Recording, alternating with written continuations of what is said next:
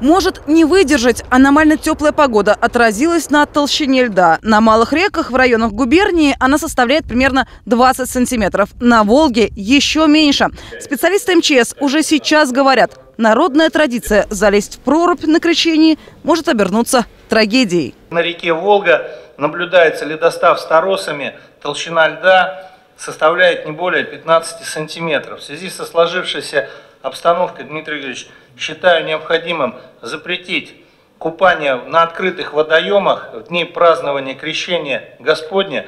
Подготовку к празднику обсуждают на оперативном совещании в областном правительстве. До крещения, его отмечают 19 января, еще чуть больше недели. Однако уже понятно, окрепнуть лед не успеет. Безопасность в первую очередь, поэтому ваша оценка ситуации ясна. Прогноз, я смотрю, тоже у нас около нуля. И рассчитывать на то, что э, будет прочный, надежный лед, не приходится. Поэтому решение надо принимать. А главам муниципальных образований, естественно, вместе с епархиями отработать э, места крещенских купаний.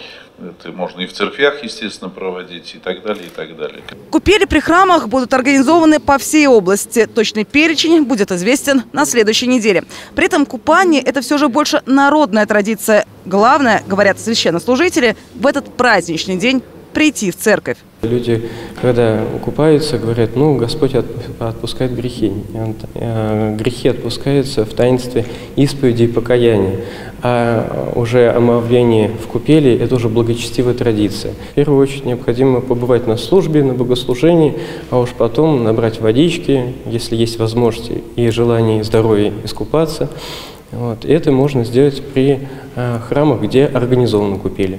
Купели при храмах будут освящены. Считается, что 18 и 19 января вода обладает особыми целительными свойствами. Ольга Павловская, Андрей Авдеев, Владимир Терентьев. Новости губернии.